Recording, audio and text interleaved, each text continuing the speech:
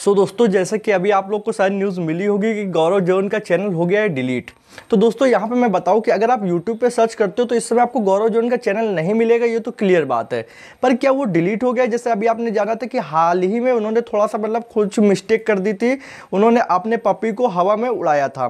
तो इस इस चक्कर में हो जाता है कि यूट्यूब अक्सर चैनल को डिलीट कर देता है. अगर वो जानते हो कि जैसे कोई पुलिस का मैटर हो गया या फिर आपके ऊपर किसी भी प्रकार का अपराध लगता है तो यूट्यूब अक्सर उन चैनल्स को डिलीट कर देता है। चाहे आप हिंदुस्तानी भाव का चैनल ले लो, शुभम मिश्रा का चैनल ले लो चैनल डिलीट हो जाता है। पर इस मैटर में क्या हुआ कि गौरव का चैनल यूट्यूब ने परमानेंटली डिलीट किया या फिर ये वापस आ जाएगा? तो मैं बता दूँ कि कल रात को गौरव का चैनल यहाँ पर हैक हो गया था, जिसमें इथेरियम की यहाँ पे मतलब इथेरियम और बिटकॉइन जैसे कि आप जानते हो क्रिप्टो करेंसी होती है तो उसकी लाइव स्ट्रीम हैकर्स लोग कर रहे थे और उनके चैनल का मतलब नेम भी यहाँ पे चेंज कर दिया गया था। इस कारण से हुआ क्या है कि यूट्यूब ने इनको दे दी थी कम्युनिटी गाइडलाइन स्ट्राइक और वो पूरी तरीके से चैनल हटा दिया गया है।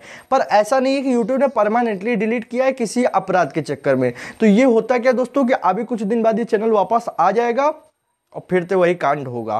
तो यहाँ पे होगा क्या कि मतलब इनका चैनल गया है गाइडलाइन स्ट्राइक के चक्कर में, जब ये रिपोर्ट करेंगे यूट्यूब को कि ऐसा मैंने नहीं किया हैकर्स ने हैक किया था चैनल को तो यूट्यूब फिर से इनके उस चैनल को रिवाइव कर देगा और इनका चैनल का, इनके पास एक्सेस आ जाएगा और ये वीडियोज़ अपलोड कर पाएँगे और आप जब सर्च करोगे तो इनका चैनल आ भी जाएगा। फ़िलहाल के लिए अभी कुछ दिन तक हो सकता है कि ना शो करे क्योंकि यूट्यूब ने अब इसको चेकिंग के ऊपर डाल दिया होगा और हैकर्स ने इसको हैक किया था, इस वजह से यूट्यूब ने हटाया है, ना कि डिलीट किया है परमानेंटली क्योंकि परमानेंटली डिलीट किया हुआ चैनल वापस नहीं आता है, पर अगर किसी तरीके यूट्यूब उसको हटाता है टर्मिनेट करता है तो वापस आ भी सकता है।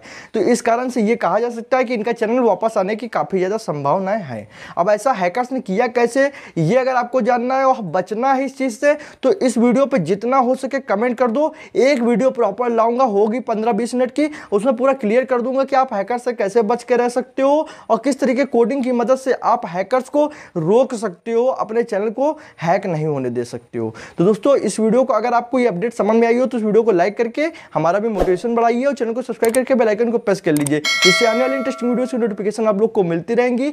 आज यही अपडेट देना था। थैंक्स फॉर वॉचिंग फ्रेंड जय हिंद, जय भारत।